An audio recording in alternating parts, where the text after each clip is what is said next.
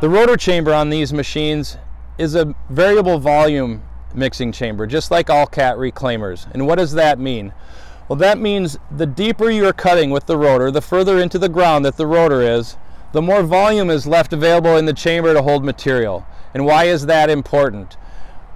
When you're trying to reach a gradation spec, oftentimes you need to hold the material in the chamber for an amount of time to knock it down to its original aggregate size or to really well mix any additives that you're putting into the soil.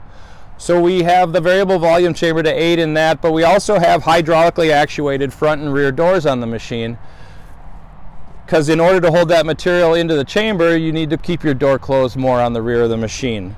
Now to aid in that, we also offer a floating rear door on this chamber.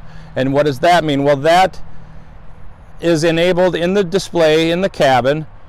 The operator can choose the amount of down pressure that they'd like on that rear door, which allows the door to open if there's a lot of material in the chamber. So the operator doesn't need to constantly monitor the rear door position. They can simply set it and let it float.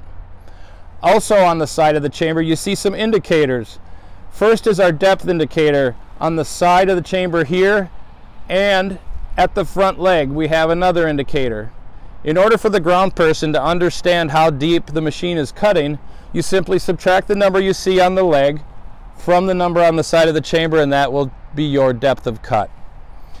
So at those depths of cut, those lines represent the leading edge or the trailing edge of the rotor. And what this does is give the ground person information to help guide the operator when avoiding obstacles on the ground. You'll notice also on the side plates at the front and rear of the side plates we have wear ski components that are bolted on so those are easily replaced when they are worn out.